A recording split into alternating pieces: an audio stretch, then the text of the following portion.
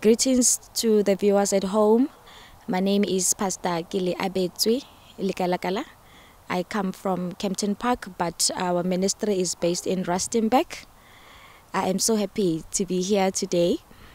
Um, the reason for me to come to Charis Missionary Church is that uh, I have been experiencing a lot of challenges in my life where uh, the prophet, uh, when he prophesied, he indicated all the challenges that I have been experiencing. Number one, challenges of delay in my career, in my in my business aspirations. Um, those are the main challenges that had caused me to come to the Charis Missionary Church to receive the word from the man of God. And I thank God because I received my deliverance, and I want to thank God for the deliverance and the testimony that I have received. In terms of my career, I have been in the same position for six years, no promotion, no nothing. And I have been receiving invitations for interviews. I have not received not even one job with all those interviews that I have attended. That is why I had to come to receive my deliverance because I know when I leave here, my career life will never be the same. So I'm also experiencing delay in my studies, where in 2020 I registered for uh, a PhD, a doctorate degree at Wits University it was very sad for me because last year after I went to present uh, my paper, my proposal, it was rejected by the panel. Sadly so because I was the only one in our group who did not go through. That's how bad it was. Now, um, this year I also tried to register again. It never happened. I'm still waiting for the school to contact me. But I believe after today, ah, I'm going back to school. Side of business, uh, my husband and I, we always had ideas. We always had business ideas that we wanted to do. But now the challenge is every time when we want to start nothing happens. Something comes up and you know with all the plans that we are making you'd find that we cannot start the businesses. It's been years. It's been years. But i thank god because it is over.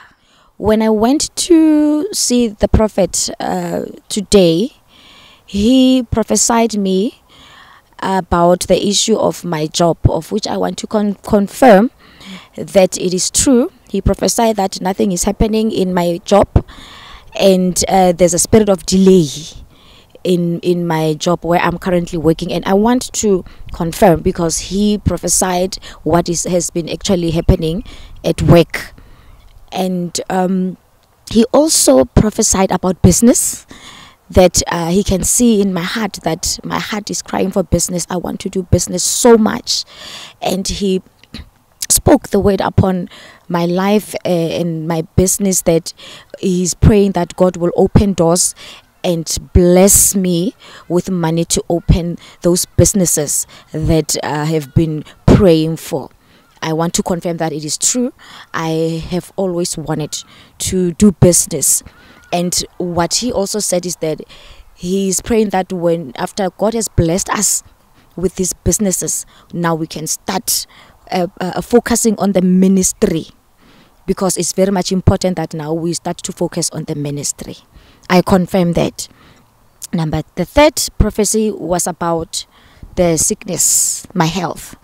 I had my feet, both of my legs, they especially when I go to sleep at night, they would get very hot, like something like I'm burning. So he's he he he he, oh, he asked about my mother. Where's my mother?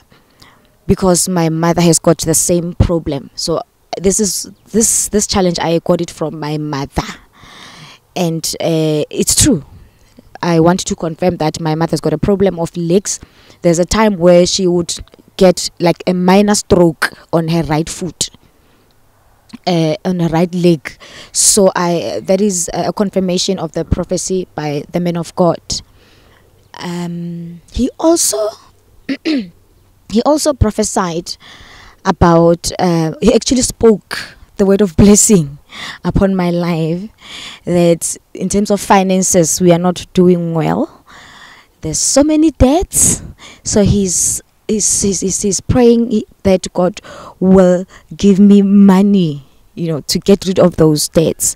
And i want to confirm with the debts they are there and i receive the word of blessing from the prophet of god when I had uh, a one-on-one with with the prophet of God, he prophesied about the spirit that has been haunting me, and it's the spirit of the family, spirit of witchcraft.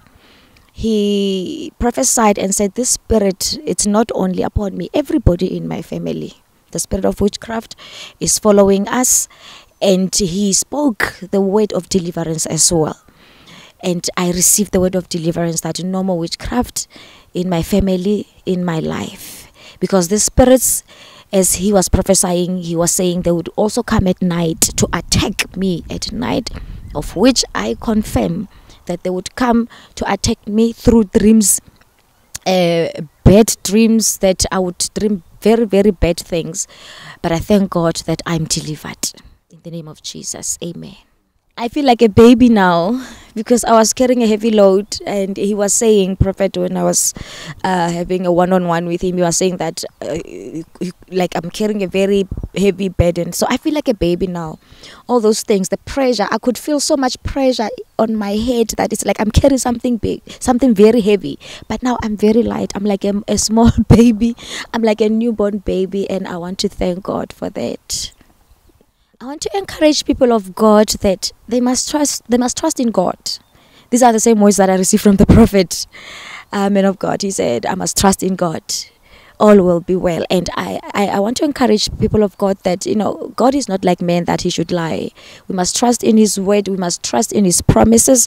We must trust every word that is spoken upon our lives. It it shall come to pass. It is true. It is true, and it shall be true upon our lives. Amen.